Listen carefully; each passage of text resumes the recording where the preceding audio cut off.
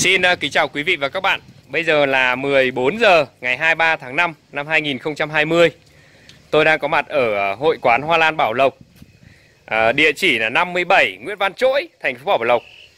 Thì à, từ sáng cho đến giờ tôi đã quay được cả 4 cái video clip và bây giờ tôi sẽ tiếp tục chia sẻ với quý vị một video clip về một chủ đề rất là hay trong cái khu vườn của anh Hoàng, đó là cái khu bảo tồn lan của anh Hoàng ở bên dưới kia.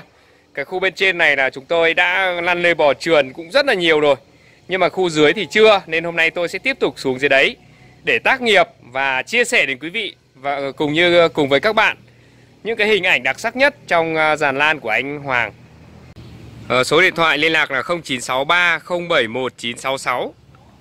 Thì ờ, các bạn có thể liên lạc với anh Hoàng để mua một số những cái vật tư cho ngành lan, ví dụ như là à, phân, thuốc cũng như là chậu hoặc là móc vân vân. Ở đây thì anh Hoàng có đầy đủ cả. Rồi hàng va, hàng gieo hạt. Rồi kể cả những cái chai, ví dụ như chai chế phẩm Hùng Nguyễn 2 lít như thế này. Rồi hữu cơ Ben 1 vân vân. Thì ở đây đều có cả các bạn ạ. Thì các bạn cứ ờ, chủ động đến đây ờ, 57 Nguyễn Văn Trỗi để ờ, giao lưu lan cũng như là giao lưu về kỹ thuật trồng và chăm sóc. Thật ra anh Hoàng anh rất là nhiệt tình nếu quý vị và các bạn lan mà nó gặp vấn đề gì thì quý vị cứ đến đây, quý vị có thể hỏi trực tiếp luôn. Hoặc là mang cả cái giỏ lan cả vấn đề về bệnh, tật các thứ đấy, các bạn đến đây. Anh Hoàng sẽ hướng dẫn cho quý vị và các bạn về kỹ thuật trồng và chăm sóc những cái cây lan đấy. À, bây giờ thì tôi sẽ ờ, đưa các bạn đi xuống dưới kia để tham quan giàn lan. Khu vực ở bên trên này là cái cổng vào thì ờ, có một cái dãy những cái cây cà phê và có những cái cây bướm long châu cũng như là những cái cây lan. Cái gì đây nhỉ? Tôi tự nhiên lại quên tên. Rồi cây này là cây uh, môi hài Thái Bình. Hoàng thảo môi hài Thái Bình đấy các bạn. Đó hay còn gọi là hoàng thảo môi hài thôi. Vì cái môi nó như là cái dày ấy các bạn. Thì ở dưới kia là cái khu ờ, bảo tồn. Bây giờ tôi sẽ cùng với quý vị đi xuống dưới đấy để mình tham quan. Cây này là cây ờ, lan ờ, cành dao. Lan cành dao Và lan bướm Long Châu. Đấy, tự nhiên nhớ ra. À bên này. Bên này là những cái cây lan mà bò lên trên cái giàn kia. Bò lên trên bên ngoài đấy các bạn, Đâm rễ ở bên trong lưới đấy ạ. Là lan ờ, phượng vĩ. Những cái lan phượng vĩ. Đấy, thì bây giờ tôi ờ, đi xuống dưới này, Cũng xa phết đất rộng thế nhỉ? Xa phải tầm trăm mét đấy các bạn Cây này nhìn giống cây nho không các bạn? Hình như cây nho đúng không ạ? Tôi nhìn cây nho ở trên tivi nhiều rồi nhưng mà trực tiếp bên ngoài thì chưa. Ở đây là cà chua bi. Cà chua này là cà chua thượng này. Cà chua rừng ấy các bạn. Đây ạ. Sắp đến giàn rồi. À đây, cái này có hoa đây các bạn này. Hoa rất đẹp nha các bạn nhé đấy, thì cái này làm hàng rào cũng rất là ok đấy. Nhìn hay phết đấy các bạn. Còn cái khu đằng sau kia là một cái khu ờ, gì đấy cũng rất là đẹp. Trồng bơ như bơ 034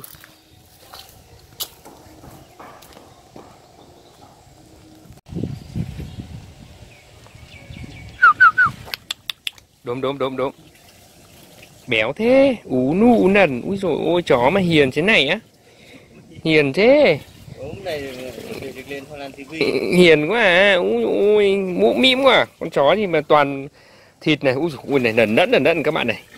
Từng cục từng cục này. Úi trời ôi.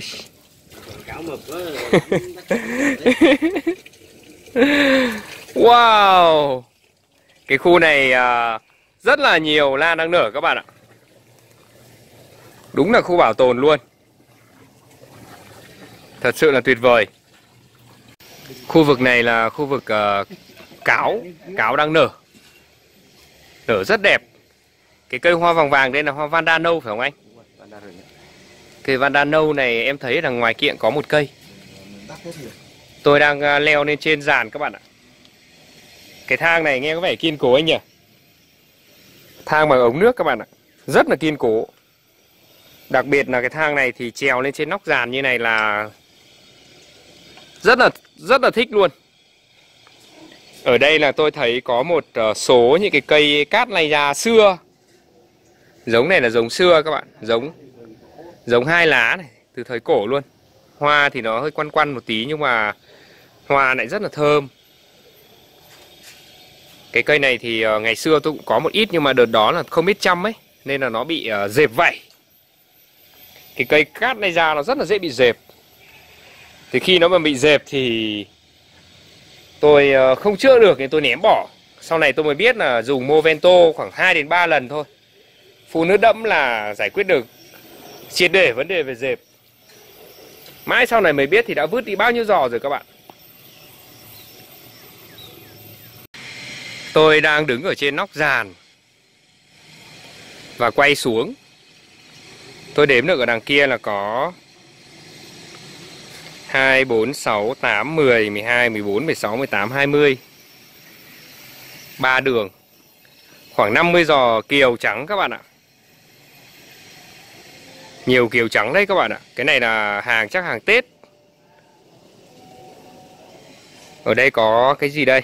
À, cây ờ, đùi gà dẹp với lại cây uh, hoàng phi hạc rồi uh, đèn rô xuân cát, các loại, vanda và đặc biệt là rất là nhiều cáo, cộng với long tu. Ở khu vực này thì ờ, đang có một ờ, anh đang ờ, sửa lại long tu rồi treo lên trên này đây. Sửa lại các cái tác phẩm này. Thì nếu mà quý vị, các bạn mà có livestream các thứ ấy, quý vị có thể lên đến trực tiếp địa chỉ này, quý vị ôm lô này luôn. Ôm cả cái bờ rào này luôn các bạn.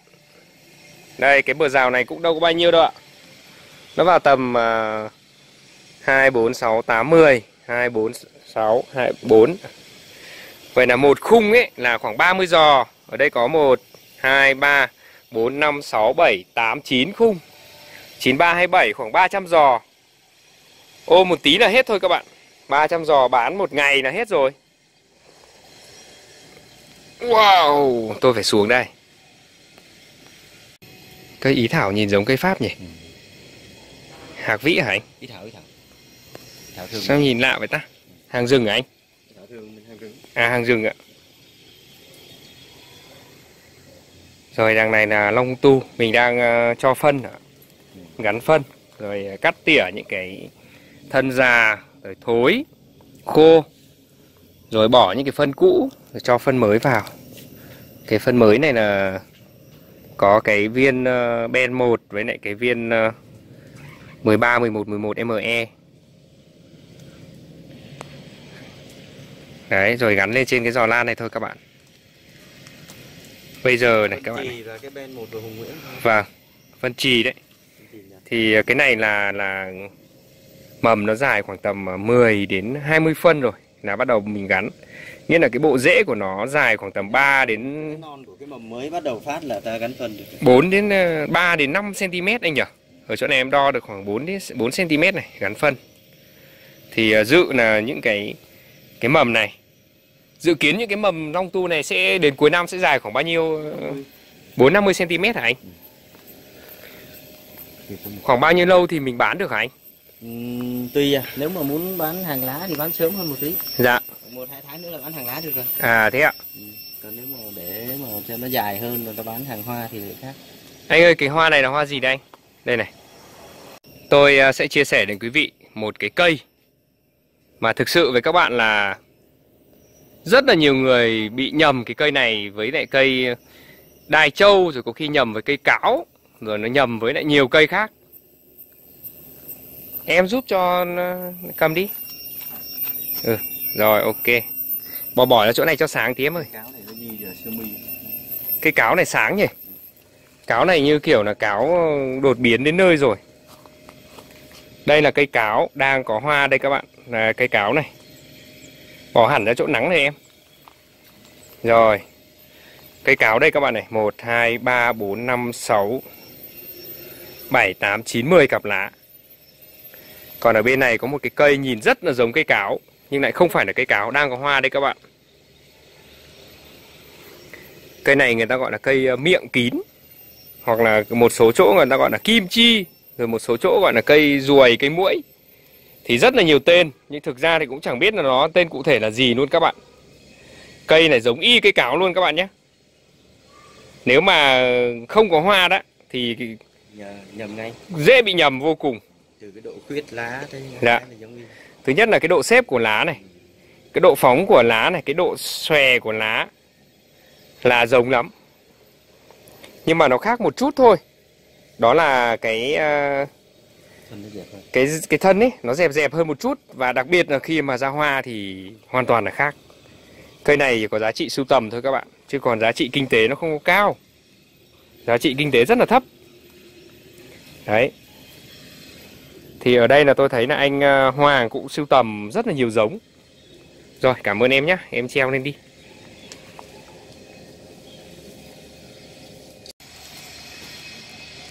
Trong vườn mình có một chậu hỏa hoàng thôi anh. Đâu? Bốn năm chậu Dạ. Hỏa hoàng.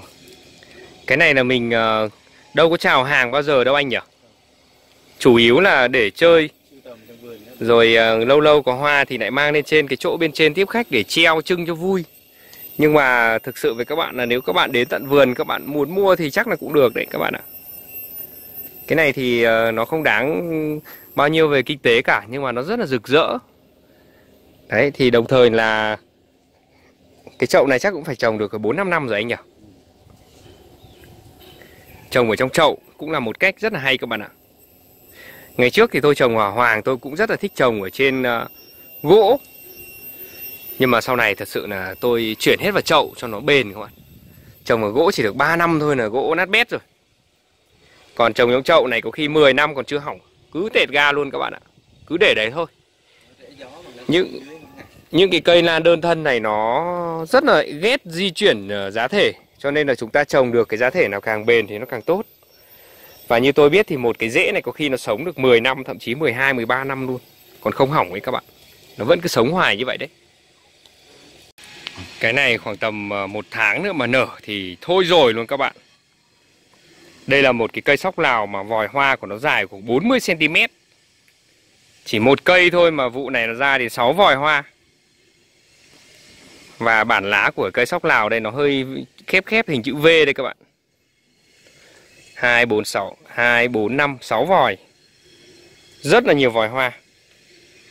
Ở đây là trồng trong một cái chậu và bên dưới là có phân ờ, của Hùng Nguyễn và có cái phân ờ, tan chậm. Phân trì tan chậm đây là cũng một cái giống của nó Wow, cây này đẹp quá anh. đó là cái cái cái vòi hoa nó dài còn thường Dạ. thường thường thường là người ta cái vòi hoa là hoa ngắn lắm Cái cây này anh trồng lâu chưa anh? bốn năm năm rồi. Vòi hoa này phải dài, nếu mà dài hết cỡ phải 50 cm đấy nhỉ? Hơn hai gang rồi các bạn. Và còn đang có còn đang tiếp tục đua ngọn à đua đua vòi hoa nữa. Cây à, sóc Lào này chất không? Đây là đồ chơi của anh Hoàng các bạn ạ. Quá là chất luôn. Ồ. Bộ rễ này các bạn này, nó kéo xuống tận đây này. Rễ dài khoảng 1 mét. Cây này khoảng tầm nếu mà giả sử mình đến đây muộn khoảng một tháng thôi. Không, muộn khoảng 10 năm đến 20 ngày thôi là có hoa để xem rồi. Cây này lúc đầu mình nhìn thì có cảm giác nó giống như cây Mỹ Dung. Mỹ Dung dạ hương. Rất là giống cây Mỹ Dung dạ hương. Nhưng mà cuối cùng ra nó lại là cây Vanda nâu. Hoa cực kỳ nâu luôn. Có một số người gọi cây này là cây ờ, Mỹ Dung nâu. Thì tôi cũng không biết được là nó có phải là hoa thơm buổi tối không. Nhưng mà anh Hoàng gọi cây này là cây uh, Vanda nâu, màu rất nâu. Cây này thì tôi không biết trồng bao nhiêu lâu rồi nhưng tôi đoán chắc phải 4 5 năm rồi. 2 4 6 8 10 12 14 16 18 20 22 24 26 28 30 40 cặp lá à 40 cái lá các bạn. Rất là khủng.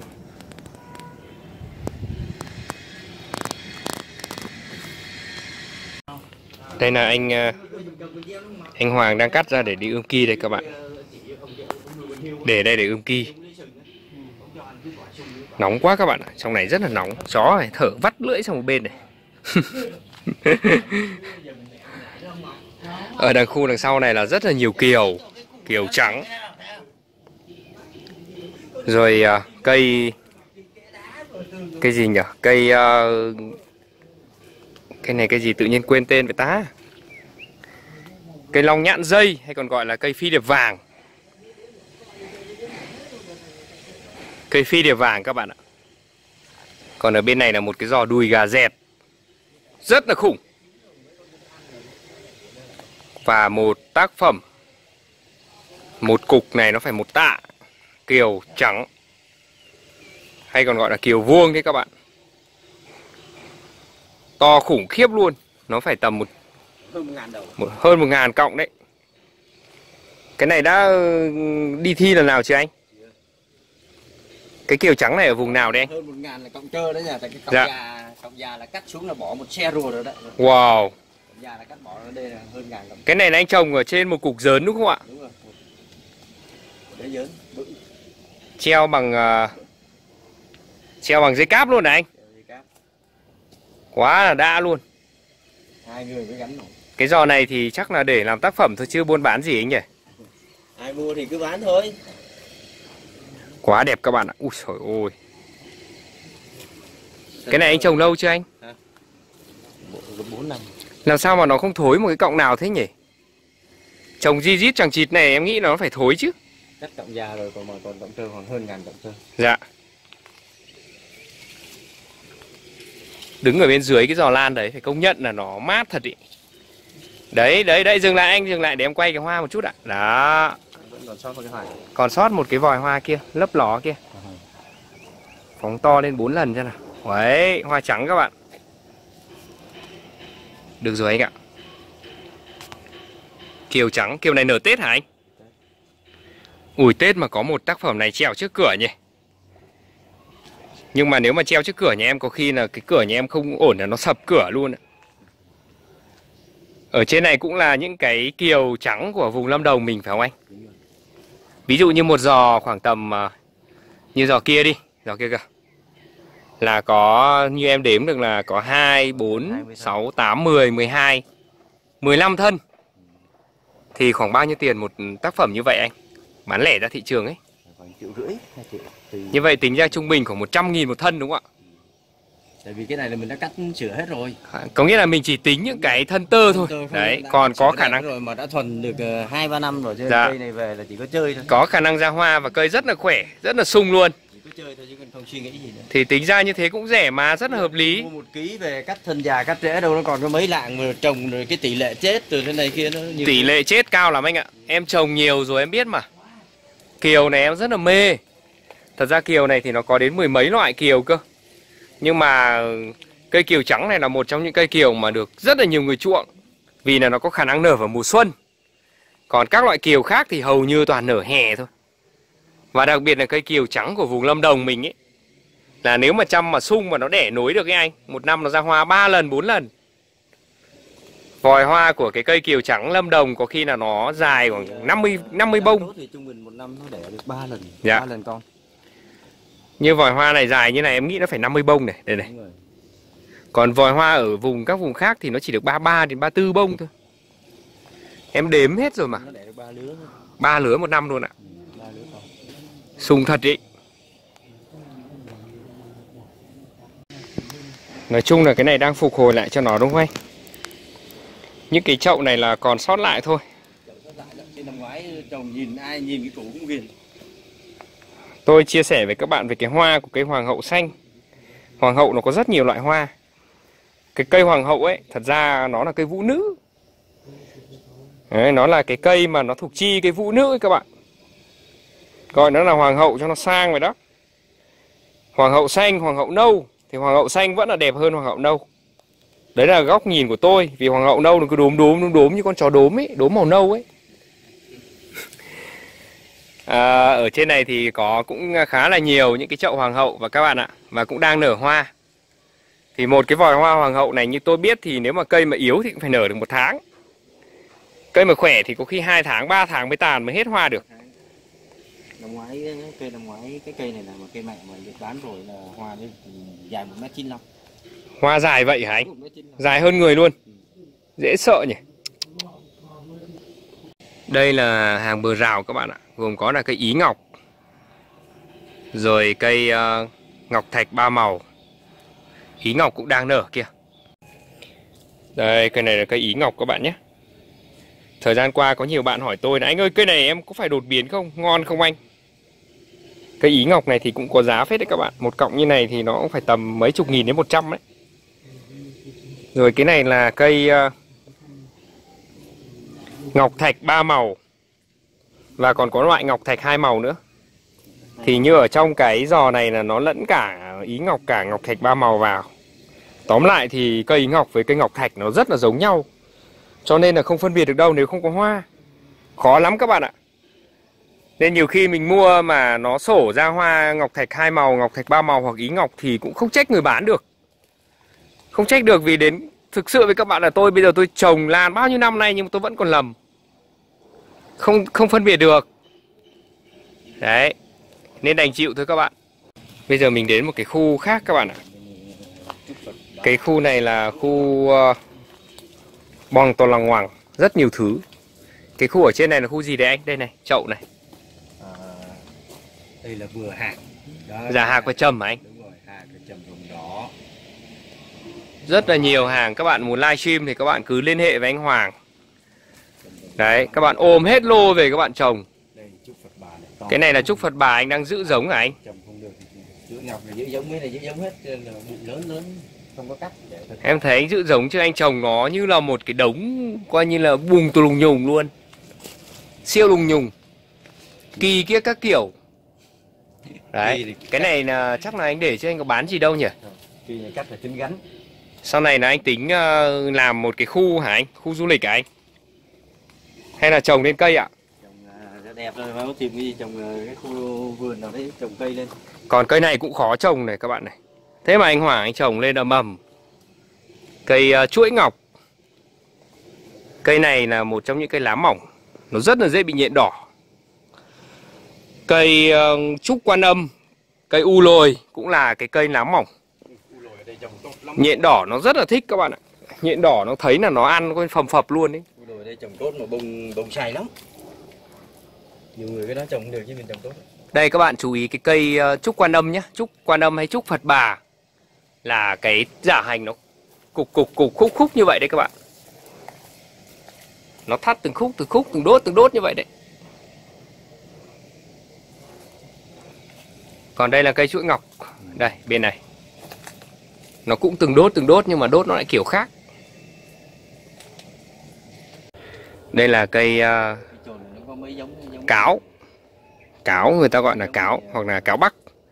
Tên khoa học của cây này là Aerides rose.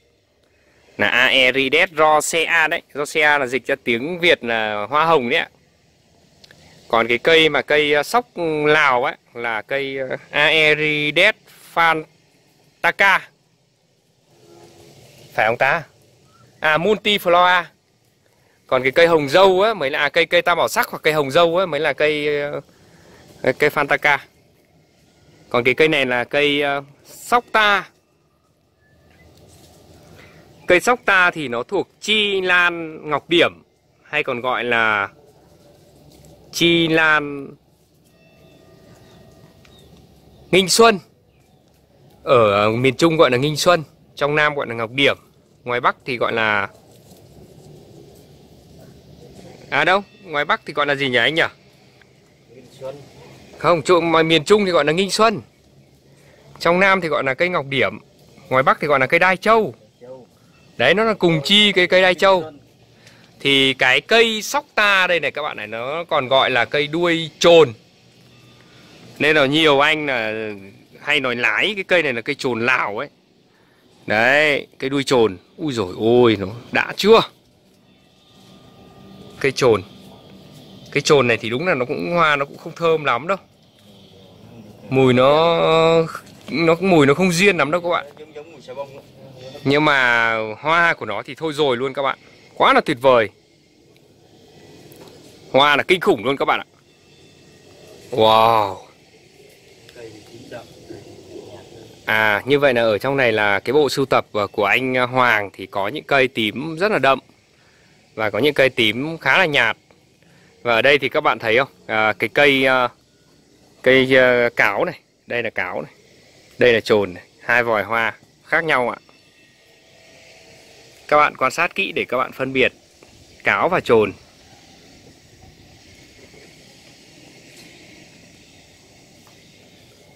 Đây, bên bên à, phải ấy là cây cáo. Bên trái là hoa trồn.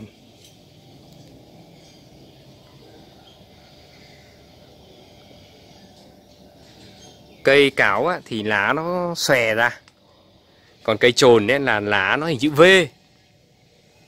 Đây, lá hình chữ V đây các bạn này. Lá nó khép khép lại hình chữ V này.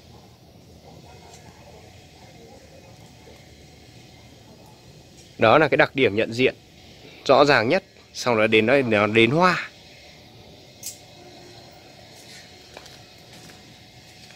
hoa rất là đẹp các bạn đậm thật công nhận đậm hẳn hơn những cây khác rất đậm anh trồng cái lô này lâu chưa anh 4 năm mà nó không rụng lá nhỉ giữ được cái lá chân rất là giỏi rất là tốt Ở đây là dưới một lớp lưới các bạn ạ. Một lớp lưới uh, dệt kim một thôi. một lớp lưới dệt kim và ban uh, sáng thì hình như không có nắng. Có chứ, Buổi... sáng đến chiều luôn. À có nắng sáng chiều luôn hả anh? Ừ, cái vườn này thì nắng đều. À, em tưởng bên này bức tường không có nắng chứ. Bức tường bên này thì có cái hướng bắc. À dạ. Bên này hướng đông, hướng nam là Thế thì ngon quá, mình ờ, che được cái nắng hướng bắc là à, gió hướng bắc là quá ngon rồi. Hoa quá tuyệt vời luôn các bạn, kinh khủng hoa luôn dễ sợ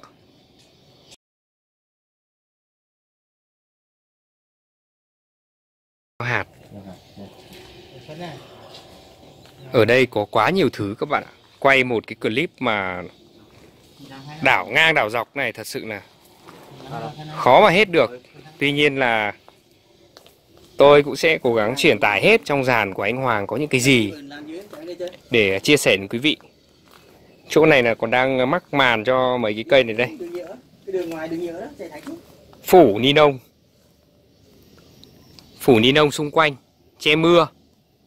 Ở bên trên ấy là không có mưa che mưa thì trồng kiều để bên trên.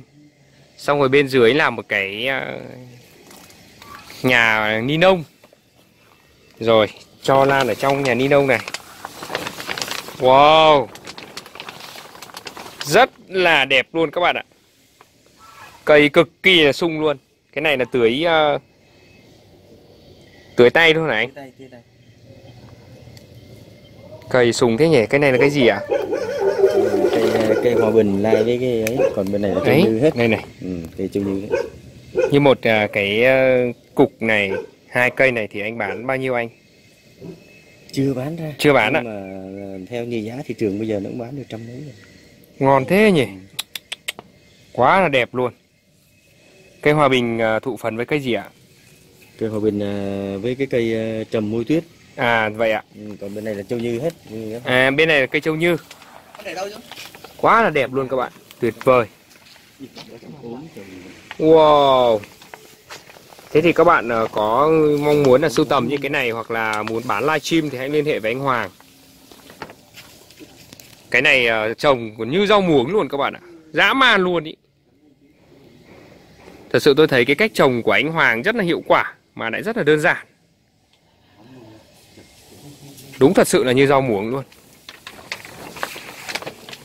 lắm. Có nghĩa là đây là cây trâu như F1 Xong rồi thụ phần với cây di linh tali rồi. rồi sau đó là ra được cái quả Và mình trồng cái hột đó nó ra được cái cây này đúng không anh Như vậy thì cái cây này gọi là cây F2 đúng không ạ Wow, cây này các bạn này, Ui, thân thủ phi phàm luôn Quá là tuyệt Thì nếu mà các bạn muốn là sưu tầm giống ấy Cái này hiện tại là thì... nó đang nó đang sổ ra thì hết 10 cây để hết 6 7 cây bệt. Wow. Nguyên lô, nguyên lô này á. Thế hả anh? Ừ. Thế thì hôm nào ờ, sản xuất cái này để em ít đi. Đây, cái mặt hoa nó sổ ra. Dạ đâu ạ? Đây nó đều bệt như cái con mà số Wow, hoa đẹp thế nhỉ? Chờ em chút nhá, không cắn nét được rồi. Tuyệt vời luôn. Hình như anh để màn hình hơi tối sao ấy. Rất là đẹp các bạn ạ. Đây là hoa bói của cái lô này phải không anh? hoa bói Thì lô này anh đã xuất ra chưa anh? chưa Đang để chờ nó ra hoa luôn ạ? Hay sao ạ? chờ ra hoa luôn À. Còn như đằng kia là bán rồi phải không anh? siêu hắn cũng nó luôn đó À thế ạ. khoảng gần 10.000 cây Wow Tuyệt vời Đây các bạn, đây là nick Facebook của anh à, Hoàng Nick là núi Cao bồi, nuôi cao boy à, Thì các bạn à, liên hệ với anh Hoàng để biết thêm chi tiết về lan nếu mà quý vị muốn sưu tầm những cái giống này Thì chắc là phải đến tận nhà thôi. Vì anh Hoàng anh ấy chả bao giờ anh ấy quảng cáo hay là anh ấy đăng bán cả. Thật đấy các bạn ạ. Nhiều khi tôi ấy rất là gần gũi với anh Hoàng mà tôi chẳng biết anh ấy có cái gì luôn. Không biết là anh ấy bán cái gì để anh sống luôn ấy. Đấy, nhiều khi tôi nghĩ ờ, anh ấy làm nhà hàng, mấy cái nhà hàng nên chắc cũng không cần bán. Thì các bạn phải nói chung là phải chủ động liên lạc hoặc là Đến địa chỉ 57 Nguyễn Văn Trỗi Địa chỉ 57 Nguyễn Văn Trỗi đây các bạn này, đây. Xem ảnh bìa này. 57 Nguyễn Văn Trỗi 0963 071966 Anh Hoàng các bạn nhé. Hôm nay tôi đã nói liên tục ờ, 3 tiếng đồng hồ rồi. Hết hơi luôn rồi các bạn. Và cái clip này tạm thời sẽ dừng ở chỗ này vì nó đã quá dài rồi. Và tôi hy vọng rằng các bạn sẽ đăng ký kênh Và nhấn vào cái chuông thông báo để không bỏ lỡ bất cứ một video clip nào. À, những cái clip của tôi thì nó vừa mang tính chất giải trí vừa mang tính chất chia sẻ kỹ thuật vừa mang tính chất là chia sẻ những cái địa chỉ uy tín đáng tin cậy để có thể giao lưu giao dịch hàng hóa. À, ngoài ra thì còn có rất là nhiều những cái à, điều khác nữa mà tôi muốn truyền tải đến quý vị và các bạn không phải chỉ riêng mỗi là à, nói về lan không à, kính chúc quý vị và các bạn xem video clip vui vẻ các bạn hãy đăng ký kênh và không quên là like cũng như là comment để ủng hộ cho anh em làm chương trình. Hẹn gặp lại quý vị và các bạn trong những video clip sau.